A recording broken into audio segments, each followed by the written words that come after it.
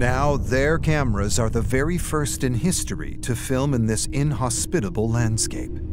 And they capture rare footage of an elusive deep ocean hunter.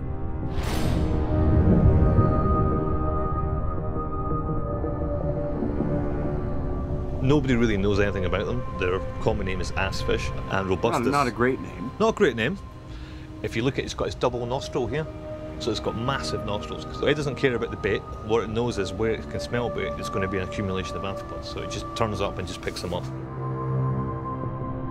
Once a crowd of the shrimp-like scavengers arrive, it's dinner time.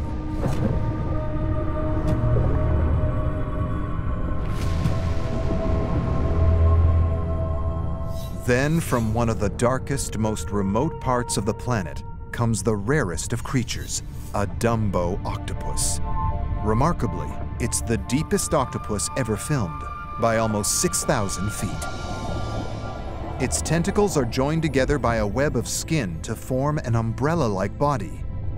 And the huge ear-like fins that give the Dumbo its name help to make it an extremely agile swimmer. It's waiting for the bait to lure its favorite meal. An unsuspecting deep-sea crustacean is moving across the seabed. In such a pitch-black home, the Dumbo's eyes are virtually sightless.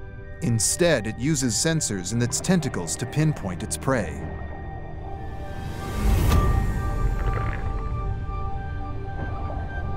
Quite often what octopus do is they'll, they'll, sit on top of a crustacean and they'll bore a hole through it at the back of its uh, shell and they'll inject it with saliva and it dissolves the, the shrimp, for example, from the inside and then sucks out. That's disgusting. Nice.